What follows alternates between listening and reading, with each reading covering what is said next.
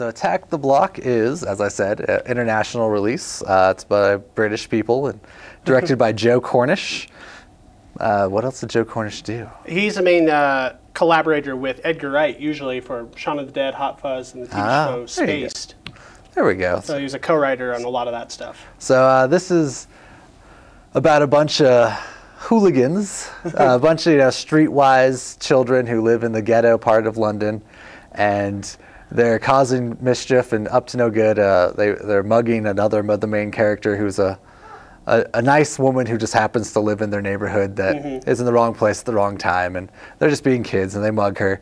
And while this is happening.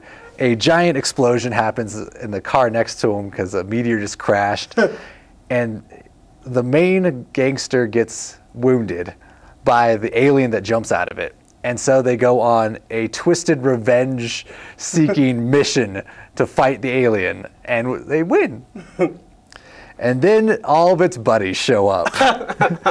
and they then spend the next hour and a half trying to survive while the big brothers are chasing them down and trying to kill them. It is a fantastic alien movie. Um, I really loved it. The aliens in it are awesome. They're Yeah. just these mis- there's these fuzzy black things that have like no dimension to them with neon teeth. They're like black lights coming out of their mouth, and they're probably the best aliens I've seen in a long time. Um, but the kids are all, yeah, they, they've each one's you know got it's very Goonies, you know, they've got their all their little unique personalities, but you know they're all tough, so you know they all carry knives and cuss and stuff. Yeah, so yeah. It's not Family Goonies. This is definitely not a, a family movie, but.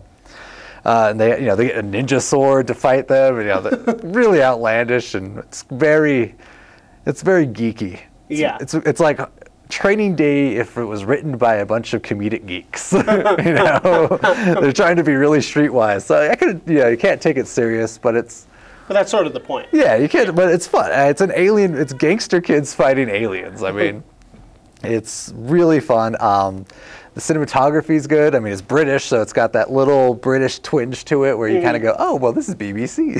I don't know. They tend to like the Doctor Who's everything British. You can just tell they have a very Yeah, different a certain look. cinematography and stuff Yeah.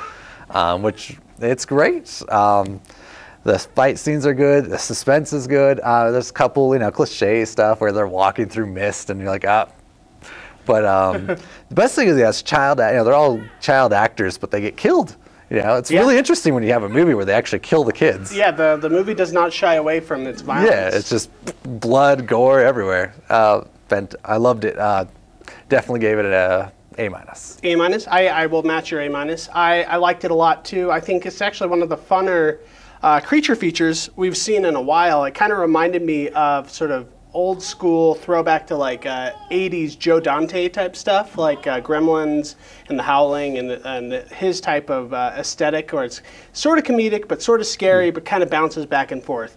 Um, and uh, the, the unique British flavor of it, I, I will say, if you're an American, you're gonna want those subtitles. Uh, Yeah, not even these, those. These kids speak in a very specific street slang for that. They, there's the time no place. connecting words. It's all nouns. Yeah. They speak in nouns. it's tough. It, it's that it's that uh, that Chav language, which is a, a kind of a combination of Jamaican, Cockney, and uh, Brit, uh, gangster wannabe, like all mixed in together, and it it will help to have the subtitles. But I found it really entertaining. I love the cast. I love, like you said, the unique personalities. Every uh, all the characters are developed. And you get to know them individually, so it does matter if one dies or Yeah. if one gets hurt or damaged or something like that. And it's just it's just a lot of fun. It's uh, it has that that that same kind of quality that the Edgar Wright stuff has, like Shaun of the Dead, Yeah. where they can they're kind of poking fun at the genre, but like honoring the genre at the same time. So Our audience is angry with us. I don't think your baby agrees with review. Apparently not. Sorry. uh, so yeah, I'm giving it an A minus. A minus. Excellent. Those are. Okay. I think they kind of ripped off Little Rascals too, though. Uh, there's these two little extra.